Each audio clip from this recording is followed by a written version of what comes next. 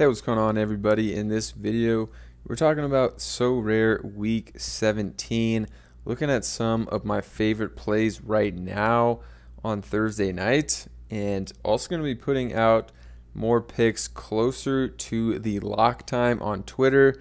So if you don't follow me on Twitter, it's linked down in the description. Also, if you're not on Sorare, you're here from NBA Top Shot, sign up with the link in the description and the pinned comment. You'll get cards for free. Also, if you do five auctions, you'll get a limited card for free, which can be like $300 for Giannis or something crazy like that. So definitely check it out. It's a lot of fun to play as well. And also, if you're not into Top Shot, uh, right now could be a good time to get in because it's really low right now, and you get $15 for free for signing with the link in my description and also in my last video if you didn't watch it on Top Shot. They're doing some kind of giveaway thing for the holidays. So I've been giving away a lot of moments to my subscribers on YouTube. So definitely comment on that video and I'll probably send you something. I don't have unlimited supply of moments I could send out here, but I'll probably send you something. And this Luka in particular, talked about it in my last video, but the video game numbers, people really like this set uh, I'm not really sure why. I guess it's pretty cool. It's supposed to be about massive games players have had, but you could see it came out and it was selling in the 90s here on Evaluate Market, and then was holding strong at up in the hundreds. A lot of sales in the hundreds.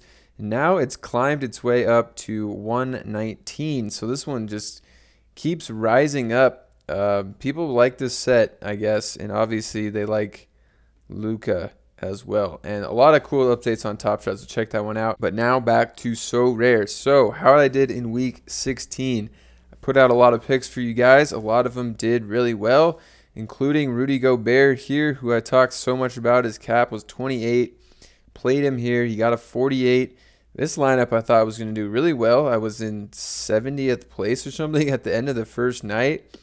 And somehow I just got passed up. I mean, Luka was 64, Giannis with 56, Gobert 48, Tyus Jones hit a 51, Dedmon even at a cap of like 14 or something exceeded his points at 21, and this had a chance to go nuclear. Part of my strategy on the bigger slates where teams actually have three games compared to these smaller slates where teams only can have two max really because it's only Friday, Saturday, Sunday. You can get a lot of these guys that are on back to backs backups, and the backups will get thrust into the starting lineup. Maybe go from 12, 15 minutes a game to 25, 30. That's what I was hoping for Dedmon. And I almost hit it, hit the nail on the head because Bam Adebayo, who actually played over here, is resting on the second night of his back to back. But unfortunately, Dedmon is injured and not playing. So almost had that happen for me there. And I'll talk another bit about that in, in a second, an example.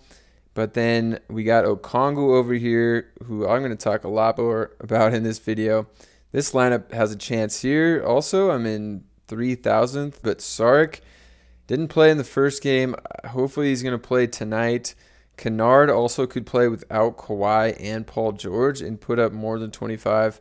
And this could be a good lineup as well. Moving down to my limited uh, contest because I don't play in the rare because they're too expensive. Pretty good here as well. This one, I still have a chance. If Dedmon played again, I would have more of a chance.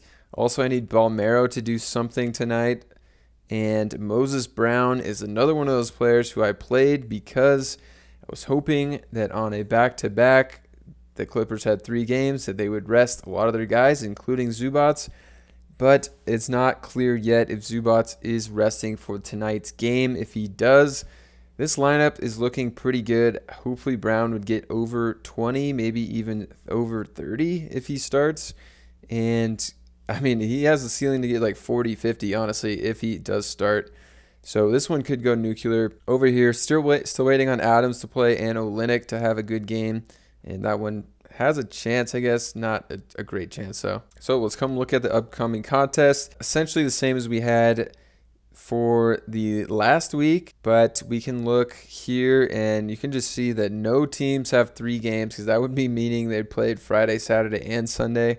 So you're not going to get three games on this slate, but we could be targeting guys with two games. So make sure you're looking at that if that matters to you. But there's also a chance some of these guys with one game have huge scores as well. So I don't think it matters as much on this slate, but it does if they have three games compared to just one. But two versus one doesn't matter as much, in my opinion. So, not a ton of injury news we have right now. But if we come over to the manager's sales, I do recommend trying to buy these on the auction since you can get some good deals on the auction compared to this or sending out offers. But one thing that is to note is Maxi Kleber is out for the Mavericks. He actually plays pretty big minutes for a big man. So what I went out and did is I went out and bought a JaVale McGee, which is actually a little under the radar purchase.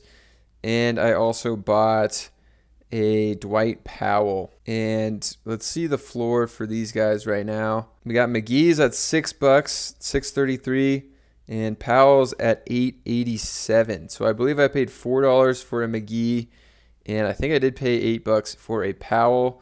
But McGee hasn't really played much at all after being the starter, and maybe they'll give him another chance to be a starter. A cap of just eight, even if they're giving him 15 to 20 minutes. McGee can always hit a big game. You see 24 in the middle of all these DNPs. That's probably some garbage time game. So even if he gets 15 minutes, he can put up 20 easily. Powell caps 11 is pretty low. He's not a great fantasy player, but maybe he picks up five extra minutes per night without Bertans, maybe even more, maybe even 10 extra minutes and he can get you something in the 20s. I do like both of those guys. The other guy that could benefit from this benefit from this is Davis Bertans. And actually Maxi Kleber's out for a long time. I think it was 6 to 8 weeks. So I kind of like having a Bertans as well and kind of just sitting on these three guys and seeing which one really is going to get this big boost in minutes. I mean, combine all these guys, what are you paying 20 bucks? I mean, if one of these guys starts just going off at these low caps here, they're gonna go. Their price is gonna go above twenty, and then you can either play a really good player or sell it. And I actually have a Bertans as well. Let's just come look at my cards real quick. You could see bought that McGee and Powell, and then Bertans was actually a reward here for me. So I got that one for free from a contest. So back to the injury news. The only really other big news that we have that would affect moments right now is going to be Clint Capela being out, and that directly affects Okongwu here. Let's see what his price is up to. It's up to 28, and if someone buys that, it's up to 32. Way up there. His cap's just 18. You saw he hit a 32, or it was a 30, I guess the 2% came from my 5% boost or whatever. He hit a 30, 25, and a 27, and these is all playing under 30 minutes. If he gets over 30 minutes, a big score over 30, maybe even in the 40s or 50, could be crazy. But I do like Okongwu a lot, but his price is now way up there. I do own an Okongwu, and basically how I decide if I'm going to play them or sell them is I build my lineups out, and if I have some leftover guys on the bench that are around the same cap that I think could score or, or have like a possible high high same ceiling as as a player like Okongwu, I'll be like, all right, I'll take Okongwu out of my lineup, put this guy in because I just don't want to leave guys on my bench like that, and I'll sell Okongwu if I'm not going to be playing him.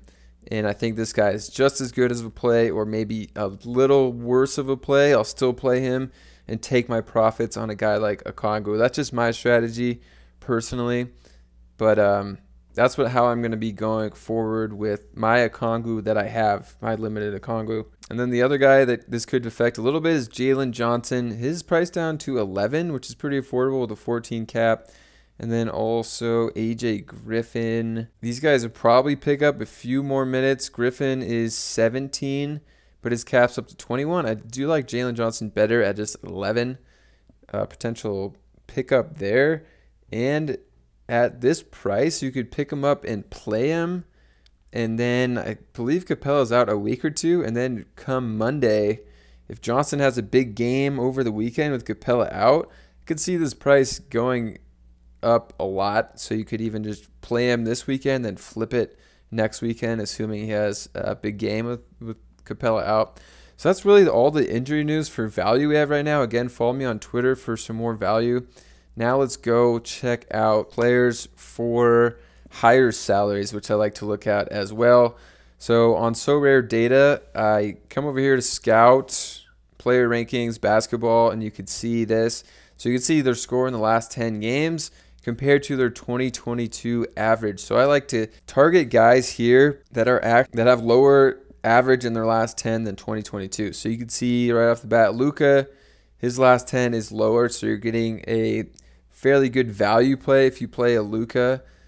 You can save like three on your cap essentially compared to like uh, Embiid if you're playing him at a 63, but his average is only 52, 53 for the season. You're kind of losing out on 10 points to build your lineups, if that makes sense.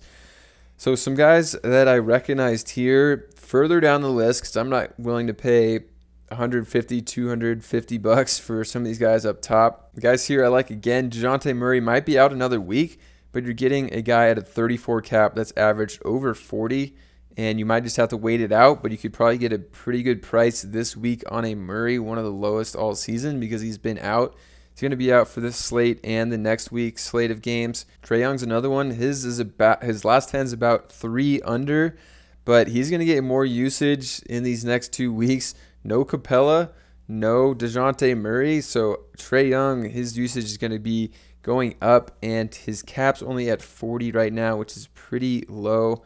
The other one.